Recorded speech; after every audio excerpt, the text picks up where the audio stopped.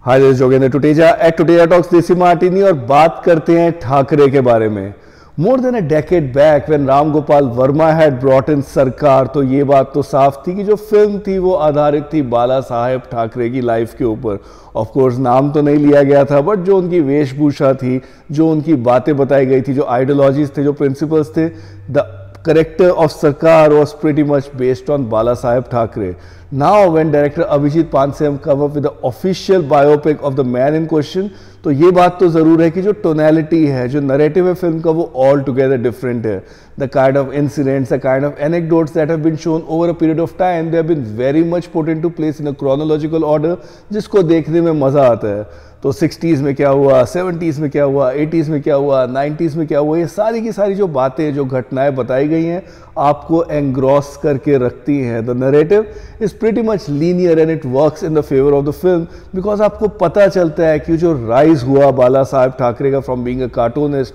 to someone जिन्होंने अपना खुद का संगठन चलाया, जिन्होंने उसके बाद एक पॉलिटिकल पार्टी फ्लोट करी, जिन्होंने सोशल सर्विस भी शुरू करी और कैसे उनकी लाइफ जो थी वो पूरे के पूरे पॉलिटिकल अरीना में अपनी एक छाप छोड़ती जा रही थी, वो काफ़ी डिटेल में बताया गया and that's the reason why जब फ़िल्म चलती है for around two hours fifteen minutes तो आप एंग्रॉस रहते हैं उसमें। आपको अच्छा लगता है देखना and more so because Nawazuddin Siddiqui as an actor he excels all over again of course he is pretty much looking like Bala Saheb Thackeray as well जो मेकअप है, जो पूरे प्रोस्थेटिक्स लगाए गए हैं, उसमें वो पूरा का पूरा करेक्टर दिखते भी है but then he plays it in his own way जिसकी वजह से काफ़ी अच्छा इम्पैक्ट भी पड़ता है। फ़िल्म की जो स्टार्ट है, मैं ये नहीं कहूँगा कि स्लो है बट जिस तरीके से एक एंगेजमेंट है that takes a little bit of time for you to get used to the character to get used to the kind of principles the kind of ideologies that he comes with but then उसके बाद जब film आगे बढ़ने लगती है specially in the second half it very much engrosses you it also enthrals you